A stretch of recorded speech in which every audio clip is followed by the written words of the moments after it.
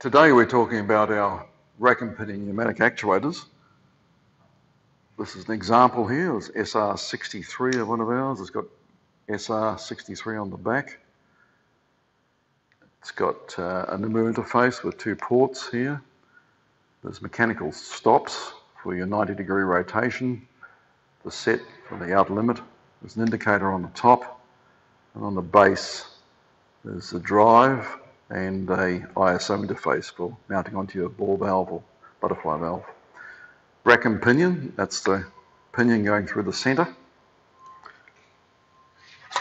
Now, the spring return actuator and a double acting actuator both look identical on the outside.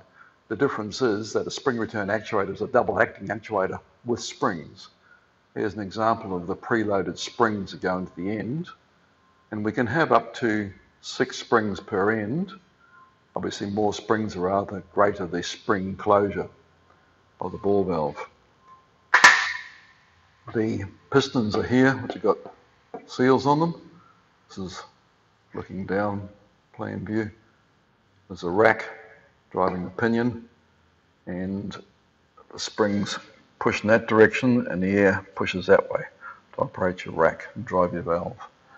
Um, there's a gallery which runs to the outside to the ends and to the centre. So for your double acting, normally you'd have air going to the outside end or to the centre, so to push out and close back in. In this particular case, we've got the springs to, to close the unit, and when we put the air in, it pushes the pistons out, which then rotates the pinion 90 degrees to open it. So for a single acting, air in, compresses the springs, air out, springs close it. Now the trick is with rack and pinion actuators is to size them because in, if I just go down here, you look at our torque our tables for our pneumatic actuators, you'll see in the model and a spring torque at 0 and 90 degrees, a couple of examples, 13 and 20, and the air torque at 5.5 at 90 and 0 and 90, which in this case is 19 and 12. So how that is brought about, the springs, when they're fully, uh, unit is 0 degrees, it's, the valve is closed, under the action of the spring, we're getting 13 newton meters of compressed spring torque. The spring, when it's slightly loaded up, is going to give you that.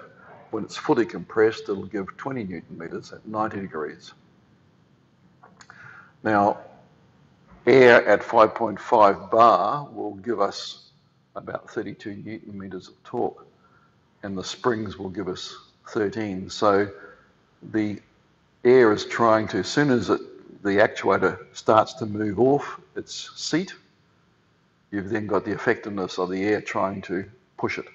So the air force is counterbalanced against the spring tension, so you're getting 90 newton meters of force which is, can be delivered to your valve to operate your valve. And at 90 degrees, the spring is further closed and therefore it's got 20 newton meters of force back up in this other area. The air is still 32, so your total is going to be 12 of effective torque. So your important areas are going to be what is left to operate your valve when the springs are fully compressed with your air this case 12 newton meters, and when there's no air in the system, the amount of torque we've got left here to fully close your valve, which in this case is 30 newton meters. So Those are your two critical points. The difference between spring at zero and air at 90. Correct. Spring at zero and air at air at 90 is the two torque figures that you're going to be looking to operate your valve.